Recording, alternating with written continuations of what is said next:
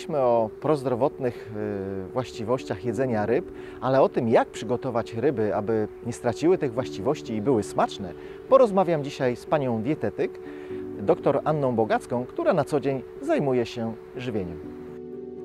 Pani doktor, banalne, proste pytanie, które zawsze sobie zadaję przed przyrządzeniem ryb.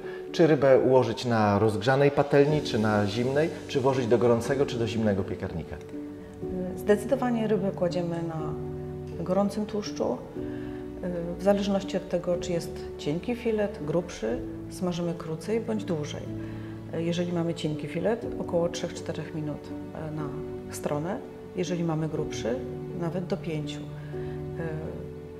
Staramy się nie przesmażać ryby, bo wówczas ona traci swoje wartości. Jeżeli kładziemy rybę na zimnym tłuszczu, wówczas ten tłuszcz nam wsiąka w rybę. Ryba się łamie e, i już nie wygląda tak apetycznie. O wartości odżywczej tutaj już nie, ma, nie może być mowy. No właśnie, popełniałem te błędy bardzo często. Jeżeli jesteśmy już przy smażeniu, to y, tu dopiero zaczynają się schody dla laika. Na czym smażyć? Y, olej, oliwka, masło? Wybierając tłuszcz do, tłuszcz do smażenia, y, musimy wziąć pod uwagę mm, tak zwany punkt dymienia. Co to jest ten punkt dymienia? Y, punkt dymienia to jest taka temperatura, powyżej której y, tłuszcz zamienia się, w, że tak powiem, w szkodliwą substancję. Wydziela wolne rodniki, y, tłuszcz zamienia się w akrylamid, czyli produkt, który jest dla nas toksyczny i działa pronowotworowo. Także musimy to mieć na uwadze. Nie Zatem, każdy tłuszcz nadaje się do smażenia. Czyli będąc y, w markecie, jaki tłuszcz kupić, y, jeżeli chcemy ryby smażyć? Jeżeli chcemy rybę smażyć, możemy wybrać masło klarowane, możemy wybrać olej rzepakowy albo oliwę z oliwek, ale rafinowaną. Wiele słyszeliśmy na temat oliwy z oliwek, tej extra virgin.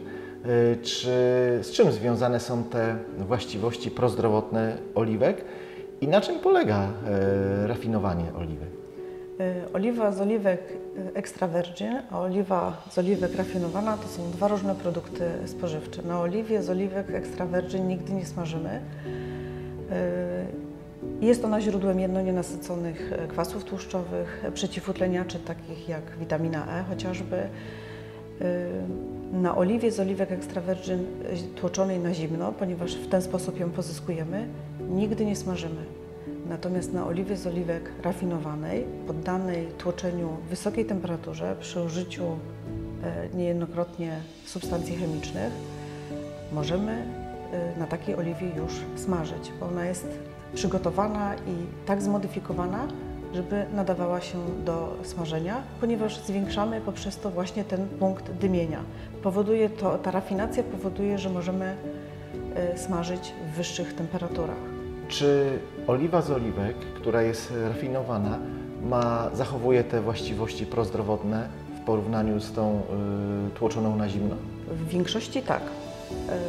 Y, zawiera tak samo jednonienasycone kwasy tłuszczowe, nieco mniej witamin, jest pozbawiona składników y, zanieczyszczeń, ponieważ proces rafinacji polega na oczyszczaniu tej oliwy z oliwek. Y, natomiast co jest ważne, proces rafinacji pozwala nam na przedłużenie trwałości tej oliwy z oliwek.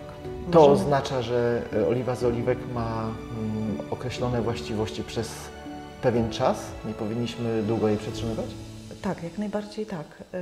Oliwa z oliwek extra virgin no jest takim produktem e, top of the top, którym, o który powinniśmy szczególnie dbać, jeżeli już otworzymy butelkę. E, musimy przechowywać w temperaturze chłodniczej, w ciemnej butelce, chronić przed dostępem e, tlenu. Natomiast i po otwarciu mamy tak naprawdę dwa miesiące na spożycie jej do końca. Jeżeli myślimy tutaj o przechowywaniu przez cały rok, no to nie. To, nie, nie, to nie ta oliwa z oliwek. Nie korzystajmy z promocji, żebyśmy musieli zakupić od razu półtora albo dwulitrową butelkę. Lepiej kupować w małych porcjach, a częściej. Zdecydowanie tak. Odradzam kupowanie w dużych butelkach, ponieważ my tego nie wykorzystamy. Inaczej ma się sprawa z oliwą z oliwek rafinowaną. Y, tutaj możemy przechowywać dłużej. Y, Ona ma taką jaśniejszą barwę, w związku z powyższym możemy ją nawet trzymać w białej butelce. Nie musimy chronić przed dostępem tlenu. Y, No i trwałość jest zdecydowanie dłuższa i dodatek na- na- nadaje się do smażenia. Zanim wrócimy do ryb, kontynuując y, wątek tłuszczów y, tych płynnych, jeszcze chciałem zapytać, czy naszym rodzimym olejom czegoś brakuje? Rzepakowemu, słonecznikowemu? Czy one też nadają się do tego, aby te ryby przygotowywać na gorącej patelni? Y, Olej rzepakowy jak najbardziej tak. Naszemu rodzimemu y, olejowi rzepakowemu niczego nie brakuje. Niewiele ustępuje y, oliwie z oliwek extra virgin, a niejednokrotnie ją przewyższa, jeśli chodzi o wartość odżywczą. I ten olej możemy śmiało stosować do smażenia. Natomiast na oleju słonecznikowym nie smażymy ryb i nie smażymy niczego. E, Dlaczego? E, Olej słonecznikowy zawiera dużo kwasów omega-6. Ryby są źródłem omega-3.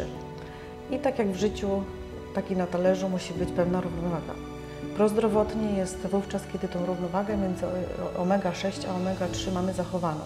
Jaka to jest proporcja? Y, omega-3 do omega-6, 1 do 4 bądź 1 do 5. Czyli mamy nieco więcej kwasów omega-6 niż omega-3. Natomiast olej słonecznikowy zawiera tych kwasów omega-6 bardzo dużo. W związku z powyższym on jakby tłumi y, wartość odżywczą y, tej naszej ryby.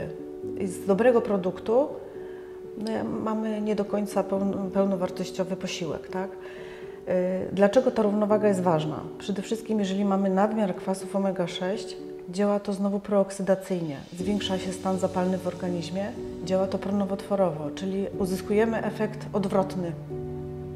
Chcemy mieć, y, zjeść k- kwasy omega-3 spożywając tą rybę, natomiast dodając tego oleju, który ma nadmiar N6, powodujemy, że ten posiłek jest y, no, szkodliwy dla naszego zdrowia. I dodam tylko, że w naszej przeciętnej diecie stosunek omega-3 do omega-6 jest 1 do 20. Więc my tych omega-6 spożywamy naprawdę bardzo dużo, ale to też wynika z faktu, że y, dookoła mówi się o tym, żeby właśnie zastępować tłuszcze zwierzęce tłuszczami roślinnymi, więc jak, jak znowu w drugą stronę y, idziemy i tych, y, tych olejów roślinnych stosujemy bardzo dużo. Dlatego oleju słonecznikowego nie stosujemy do smażenia, podkreślam, niczego. To bardzo ważne informacje. Wracając do ryb. Y, Kiedy Pani spotyka się ze swoimi pacjentami i tworzy im dietę, czy zaleca im Pani y, jedzenie jakiejś określonej grupy ryb? Czy ryby y, typu leszcz, płoć czy sandacz są równie wartościowe jak ten reklamowany na przykład łosoś norweski? Mm, Zdecydowanie na naszych talerzach powinny się znajdować różne rodzaje ryb. My, dietetycy, kładziemy nacisk rzeczywiście na ryby tłuste, morskie, ale karp też jest rybą tłustą i też jest bardzo cenną. Niestety spożywamy go zazwyczaj w okolicach Bożego Narodzenia. Y, Warto to zmienić. Y, Tak jak powiedziałam, cały wachlarz ryb y, powinien się znaleźć na naszych talerzach, natomiast y, z doświadczenia wiemy, że jest to produkt y, deficytowy, y, ponieważ nie lubimy jeść ryb. Nie potrafimy ich przyrządzić, y, już pomijam samą cenę. Natomiast y, fakt, że nie potrafimy przyrządzić, staje się to produkt dla nas niesmaczny. No i jego unikamy po prostu. Jeżeli chodzi o smak ryb, y, usłyszałem kiedyś od y, mojego nauczyciela, że nie ma ryb złych, tylko są źle przyrządzone. Y, Czytając o diecie i rybie w diecie, spotkałem także przepisy o rybach, które są gotowane, przygotowywane na parze.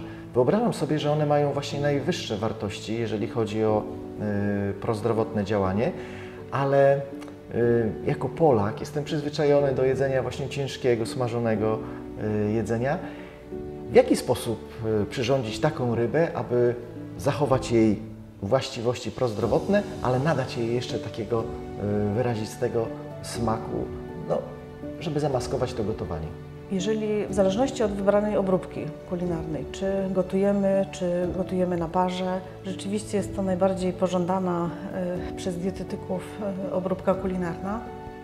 Natomiast możemy ryby grillo- grillować, możemy piec w piekarniku, zapiekać. Nie musimy smażyć w tłuszczu. Y, Ważne jest to, żeby wybrać odpowiednią obróbkę do rodzaju ryby. Gotujemy, parujemy, z reguły ryby chude. Natomiast grillujemy, pieczemy ryby tłuste. Y, Z doświadczenia wiem, że ryba gotowana, parowana nie ma tego smaku. Jest jałowa i uważana za taką potrawę szpitalną. Natomiast my możemy, mamy cały wachlarz przypraw, możemy to, y, tą rybę przyprawić, możemy dodać sosy.